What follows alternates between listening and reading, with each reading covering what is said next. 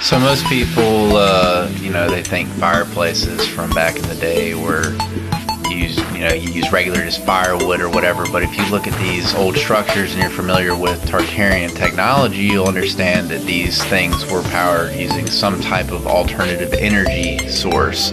As you can tell here, uh, I don't think that these fireplaces were built using, uh, you know, materials from a horse and buggy as you can tell, that many things in our history have been changed uh, extensively if you have the eyes to see, which we all do. But most people just don't like to, you know, take that extra step and uh, realize what they're really looking at, such as this picture here.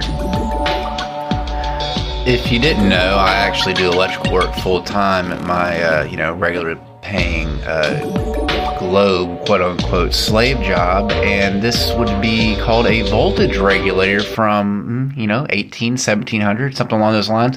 And then we have here a Vimana, a flying chariot in ancient India. Hmm, fascinating. You know, these uh, ancient technologies look so, you know, superiorly advanced than anything that we have in the modern day. Modern aviation likes to think that the airplane was created in the early 1900s, especially for the modern turbine engine. But what we have here is imagery, you know, showing that we have this type of technology far before uh, any modern aircraft. My wife sent me this image earlier today, and I have a couple more in this slide. But uh, you guys tell me what you think this is. You know, modern uh, spirit uh, device of you know talking to dead relatives, or maybe some type of holographic technology. Most people might write this image off as some kind of CGI or something else, you know, entirely. Uh, I'm not sure exactly what I'm looking at here. It's uh, pretty fascinating communication with the dead, or a hoax? Hmm.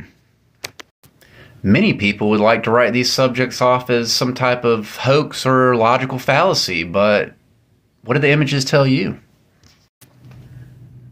Looks about Tartarian to me.